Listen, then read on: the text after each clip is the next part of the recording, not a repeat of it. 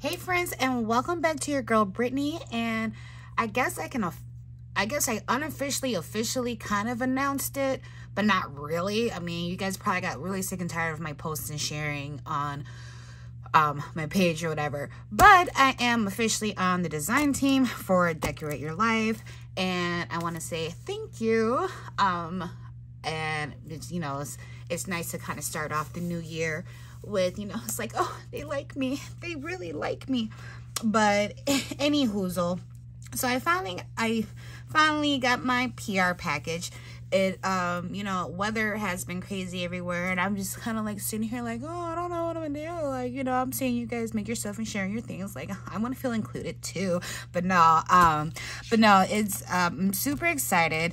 Um, there's a lot of great things that are going on and there's awesome members are part of the team as well. I have their, excuse me, I'll have the link for them down below in the description box. You can go ahead and like, follow, share, subscribe, um, all their pages and everything and see their creativity as well. We all have different personalities.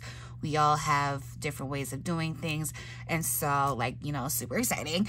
But um, go ahead and I want to go ahead and open this one because I know they have been using this. I don't want to touch anything else because I'm not sure like, okay, is this upcoming? Has this been shared yet? I don't think it's been shared yet or anything. I haven't seen anything in anybody's videos. So I don't want to touch it kind of ordeally, but I have been seeing this one. This is uh, La Condesa and this is, um, this one in particular is eight and a quarter by eight and a quarter. It is printed on 65 pound cardstock. It has 10 design sheets, four cutout sheets, and then 20, well, with 28 sheets in total. And so I'm super excited. We're going to go ahead and open now, this up. Course, You can find everything on Decorate Your Life's website. I will also have that link down below for you so you can be able, you can either get the actual digital copy or you can get it printed out and mailed to you at home. Um, it's a lot cheaper for international to get, you know, do digital. Just saying, putting that out there.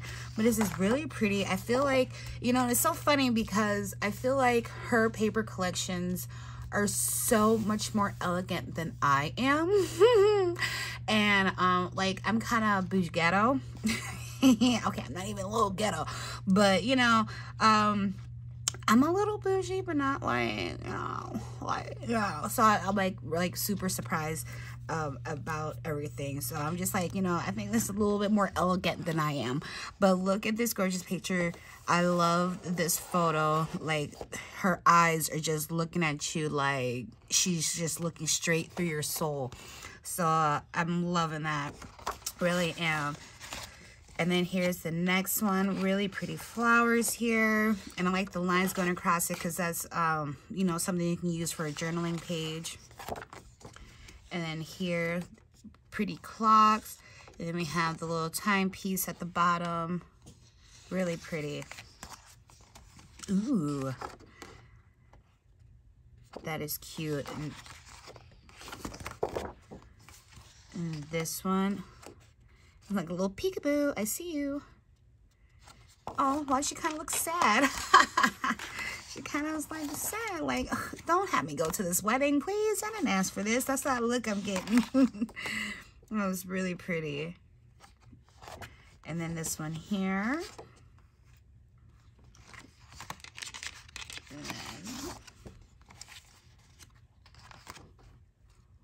that. Okay. Ooh, that one's gorgeous. I like that one. Flowers are gorgeous. And then here we have um, some pretty little tags and cut out. She's looking like, I will eat you up. Like, you don't want none of this. I will eat you up. Ah, love it. And I love these little postage. This is, this is really nice. That is super cute. And you know, it's so funny because I didn't even um, realize, like I knew, but I didn't know that these pieces were in here. And that will actually go really well with what we're working on today. And then here, oh, look at these super pretty mason jars. cute. And then here we have a pillow box and then we have some little sentiments at the bottom. So that's really cute. I don't know if I was out of frame with that one. And then, oh, look at these. I think this is the last, oh no. Well, this is like little journaling page here. They could also utilize, so that's really pretty. Look at these. You can turn these into tags, but these are just kind of like labels. You can use it as bookmarks. So if you are a junk journaler or a traveler's notebook or just journaling in general, like awesome, awesome collection to go ahead and work and play with. And I am super excited. I'm to go ahead, grab my tools, and then we're to talk about what we're doing today. Okay? Okay? Hold that thought.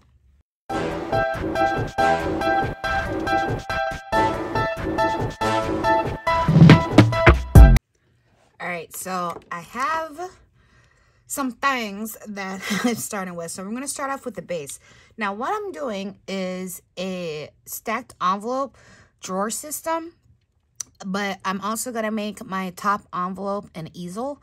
So I'm not going to do like a whole bunch of envelopes or anything like that. But I thought it would be really pretty with the paper collection and everything. So my base is going to be five by five and then I am going to have my stacked envelopes. So I'm gonna probably start with like, cause you know, like when you do the envelopes, especially with the We Are Makers, well, We Are Memory Keepers, but of course they changed the name to We Are Makers. And um, the sizing for the card size, now the envelope is always about like an eighth or a quarter bigger than the actual card itself.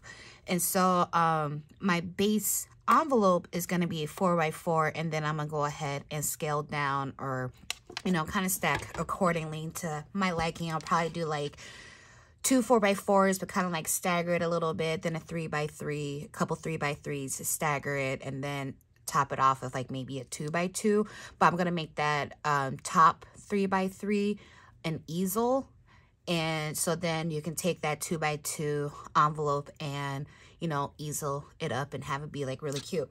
So anyways, um, I am going off the top of my head. I actually had like my little sticky note because uh, like I'm winging it. So this is my base and it is 7 by 11, I think. Yeah, 7 by 11 and then this is going to be the cover portion. And then I have a piece for my drawer. And then this is uh, seven by seven, but I actually took a tish, literally a tish off because I needed to be able to slide in and out of the mechanism. Okay. And then I'm going to go ahead. I don't want that bone fold. I want this one. I'm going to fold on my lines, give that a good crease.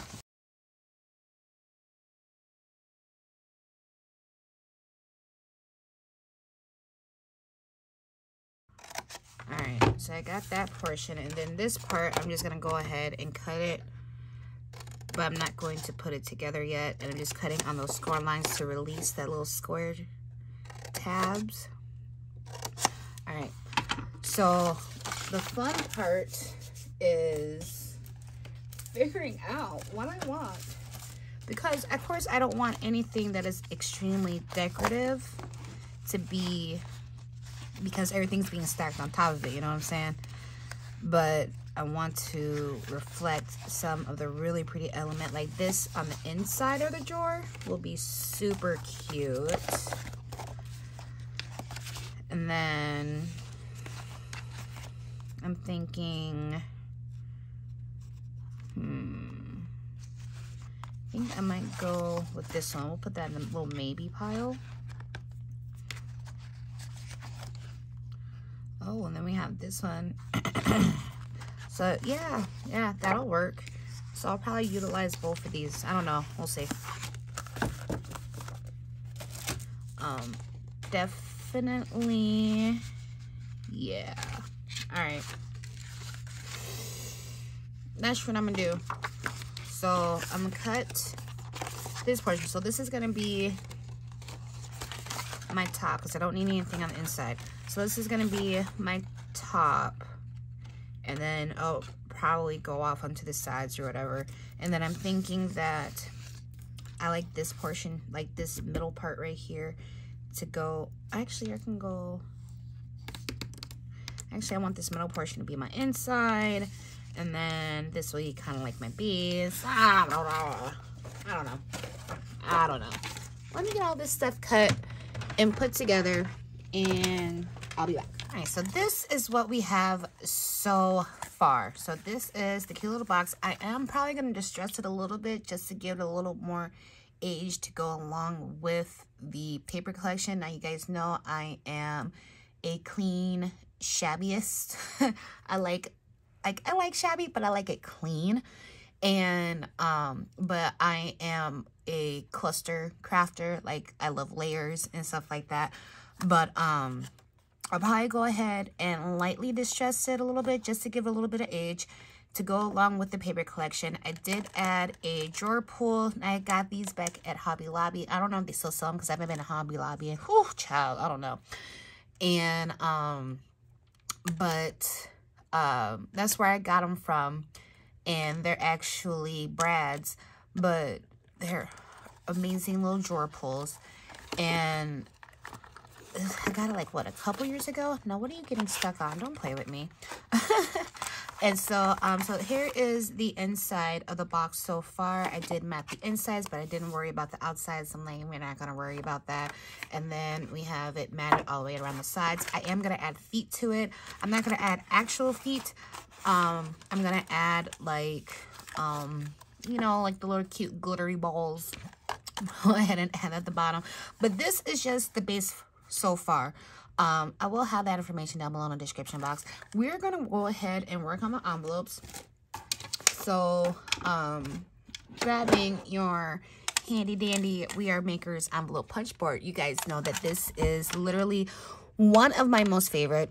If I could go through my favorite list of tools, like I am a huge We Are Makers fan. I don't get everything that I see there's a lot of things I really don't even condone. Like, really? You had to make something like that? Really?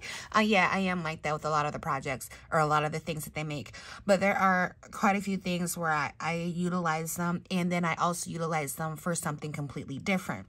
So, i.e., remember the candy cracker box that I had made during the holiday season? I utilized the envelope punch board to create the notches in that. So, I'll have that video linked so you can go back to that. But, so what I'm doing is I'm going to do two 4x4s. So that means I need to cut out uh, 6 and 7 eighths squared. And then I'm going to do, um, I think I'm going to do like three and a half and then do a 3 by 3 I'm doing two 4x4s and then I'll do a three and a half squared, which I need a 6 by 6 And then, um, then I'll do a 3 by 3 and then on top of that do a two by two. And you're like, Brittanee, you can't do a two by two on that one. There's not a two by two. Um, cool your jets because I can do a two by two because I also have the mini, okay? Okay, so I can definitely do a two by two. So I'm gonna go ahead and cut out all my envelopes. So now I have all my stuff cut out. So this one is my three by three. I actually did, um, or this is my 2 by 2 These are for my 3 by 3 I decided to do two of those. Then this is my three and a half. And then these are my two 4 by 4 So I have, what was that? Six envelopes that I'm doing. And um, so what I'm going to do is, it comes with a little stylus but I like using this one. This is from Dollar Tree. I love this thing with all my, my, now, Again, this is for those who have never used the punch board, never seen it or anything. There are people who are new to crafting. I know there's some of you who are like, okay, Brady, we know. But there are people who don't. So fast forward. All right. So we're going to do our 4x4 and we cut it down to 6 and 7 eighths squared. And so our score line is going to be at three and a half. So I'm going to take my page. I'm going to line it up at three and a half. Then I'm going to punch. And then we see this line right here. That is our guide to score. And so now we don't even have to worry about lining it up with three and a half anymore. We're going to turn it And we are going to line this little notch up with our score line. So you don't even have to worry about trying to match it up at three and a half. Um, because honestly, depending on the envelope, it's not even going to, because of the light, I can't really see my score. um, with some of the envelope sizes, it's not even going to give you, it doesn't even line back up with the initial score anyway. So, man, I'm telling you, when you work in like certain lighting or with certain um, papers, you can't see your score. About to go crazy. I think that's about right. Where there's a will, there's a way, friends. All right, and then I think that's right. I don't know. But yeah, do this, or you can even kind of like draw a little line too with a pencil or something to kind of help you out if you also cannot see your score. I do wear glasses, but I'm still blind as a bat. Don't let it fool you. All right, so that's how we do it. Now, this is single-sided, so I am going to be folding all my score lines the other way. Now, of course, you can go ahead and flip your paper over, which is what I should have done in the first place, but, you know, it is what it is, okay? Sometimes that's just what happens on video. All right. and um, so then we have our first envelope. So now I'm going to go ahead and punch all my stuff. And I'll be back. All right, so I have all my little envelopes done. Where's my bone folder? Okay. I'm going to get it together one of these days. Man, it's been a minute. This is what happens when you stay off camera for so freaking long. Boy. All right. So I have all my stuff done ski. You know, and one of my things is which way do I want to do things, you know? I think I like that. So I'm grabbing my scoreboard. See, now this one, I got to figure out which one I want to be my top and what I want to be my bottom. Because I want to see that. That's pretty. That's pretty. So I'm going to take my little tabby here, move this out my way because I can't see. So where am I at? That's about two. So I'm going to go ahead and score this at that one and a half mark because this is going to be my easel portion. Or maybe not. Oh no, that works the way I want it to. Yeah, that'll work. You can do it wherever. It was just my own personal preference. I mean, if you want to go higher, you can. I think that'll actually work to my benefit. If not, I can always, you know what? I think I do want to go a little bit. It's going to get covered anyway, so you're not going to see the little tiny discrepancy. Oops, that was totally crooked. Bruh. Give that. Yeah, that's a lot better. That's a lot better. Okay. So we have that. Now all we have to do is put our envelopes together, like tape them together and everything. And we're going to start applying and all of that fun jazz. Just kind of like playing around with things of what we're going to do. So this is the finished product.